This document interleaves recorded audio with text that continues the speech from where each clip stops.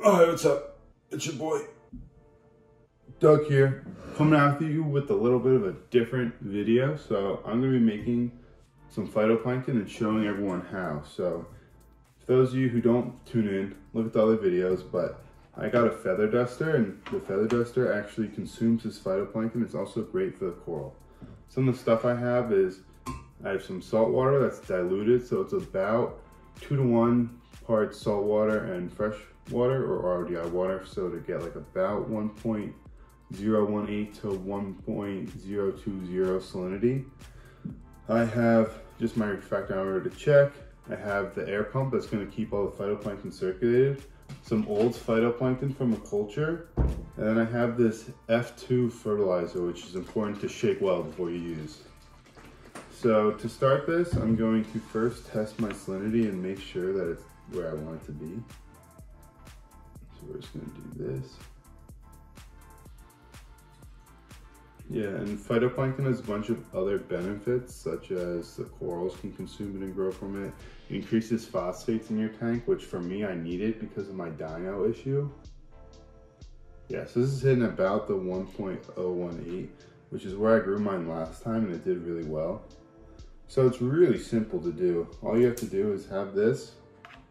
You add some of your phytoplankton just to tint it green. And this stuff is old, that's why I really don't want to use it. It's been in the fridge for like a month now, maybe more. And smell it to make sure it smells okay. It's still fine to use. I read online you can actually have it for up to three months. Yeah, so I'm just gonna tint it a little greener than this. Probably like that. Eh.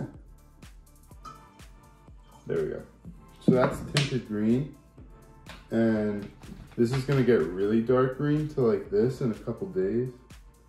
I actually made, might have made too much, but I want a little greener because I'm going back to school soon, so I want to harvest it before I go back. All right, so that should be a solid green start. You can add as much or little as you want because this stuff will really grow. Then I'm gonna add this fertilizer and you add about five milliliters of it. That's what I found worked well for me last time. So I'm gonna do that again. This is just any other syringe. Just take one.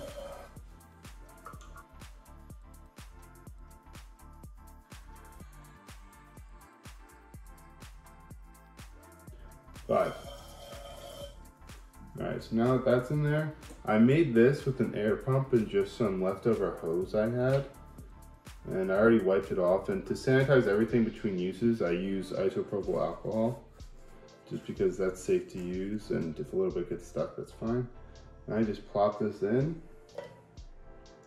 I get it to go to the bottom, cap it, and then I just plug in the air pump and I make phytoplankton. It's easy as that. It's really not that hard of a concept and it's unlimited food supply and it's a lot cheaper than just constantly having to rebuy it, rebuy it. So I'll show you in a second what it looks like when it's going. Yeah, so it's pretty loud, but as you can see, all you have to do is when you have the airline tube, that'll keep it circulating. And I just put it in front of a window in about 10 to 14 days, you'll have a cultured phytoplankton. You know it's done because you can see it's super light green now, and I'll show you when it's actually done because it'll get super dark and light won't pass through it. This is the final product. It's pretty basic cell culture in my opinion. You know, one becomes two, becomes four. I left it in the window for about 12 days and once you have that nice dark color, you know it's good to go. So I got my phytoplankton, gonna shake it up. Mom! Just kidding, I think I'd have worse diarrhea than I already do. But so I'm gonna dose this in here. The recommended dose is five mLs per 10 gallons. So this is 40 gallon tank, quick math, 20 ml. So I'm gonna add it in here. Yeah, that's probably like 19.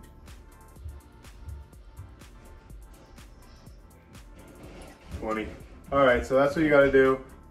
Just kidding, I actually just kind of like, whatever, how much works. Uh, it's to feed this guy, the beautiful feather duster that I've already shown, so if you want to, take a look at that video. And as always, ugh, refund, baby. Please subscribe to my YouTube channel. And I, I need money for fish.